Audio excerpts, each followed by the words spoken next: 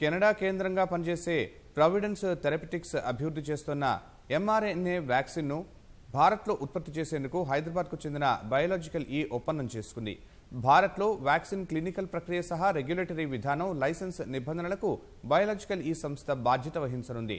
ఇందుకోసం providence థెరపిటిక్స్ biological ఈ సంస్థకు సాంకేతికతను అందించనుండగా రెండు వేల ఇరవై రెండు నాటికి కనీసం ఆరు వందల మిలియన్ల డోసులను ఉత్పత్తి చేయాలని లక్ష్యంగా పెట్టుకున్నారు.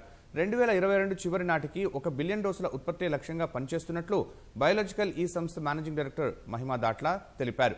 కోవిడ్ నైన్టీన్పై విజయం సాధించే దిశలో రోగ నిరోధక శక్తిని సాధించే ప్రయత్నాలు వేగవంతం చేయడానికి భారత్ సహా ఇతర దేశాలకు మరో ఎంపికను అందించాలని భావిస్తున్నట్లు వెల్లడించారు.